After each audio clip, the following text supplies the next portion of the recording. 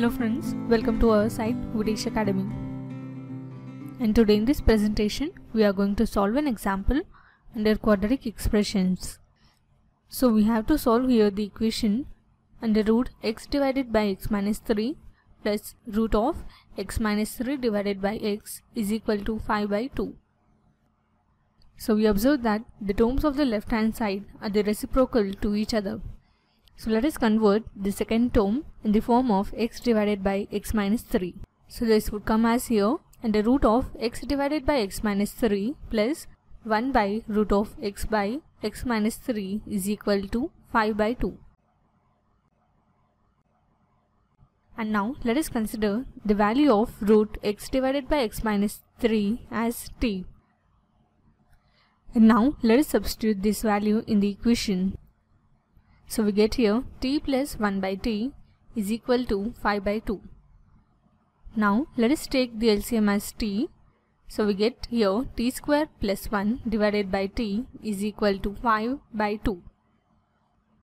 Now let us cross multiply. So on multiplying 2 with t square plus 1 we get 2t square plus 2 is equal to 5t. Now transfer 5t to the left hand side then we get here 2t square minus 5t plus 2 is equal to 0. And now by factorizing this we get 2t square minus 4t minus t plus 2 is equal to 0. Now let us take 2t as a common factor from the first two terms. So we get here 2t into t minus 2 minus 1 into t minus 2 is equal to 0. And now again let us take t minus 2 as a common factor. So we get here t minus 2 into 2t minus 1 is equal to 0. So we get here t minus 2 is equal to 0 or 2t minus 1 is equal to 0. So on transferring minus 2 to the other side, we get the value of t as 2 and here by transferring minus 1 and 2 to the other side, we get the value of t as 1 by 2. Now let us substitute the value of t over here. So we get here under root x divided by x minus 3 is equal to 2. On squaring on both sides, we get here x divided by x minus 3 is equal to 2 whole square and its value would be 4. Now let us multiply 4 with x minus 3. So we get here x is equal to 4x minus 12. And now let us transfer x to the other side.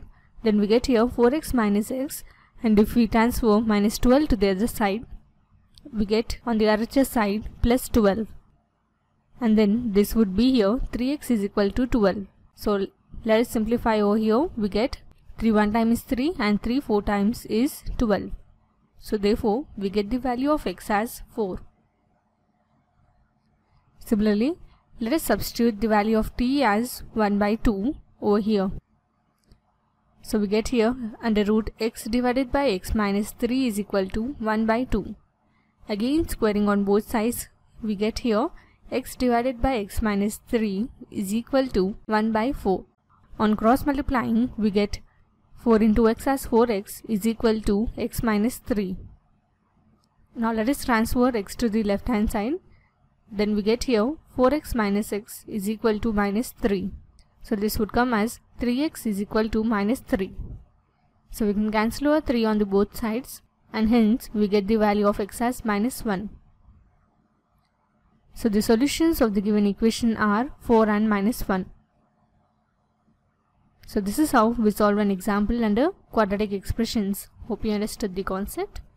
For more videos, visit our website We Teach Academy. Thanks for watching. Have a nice day.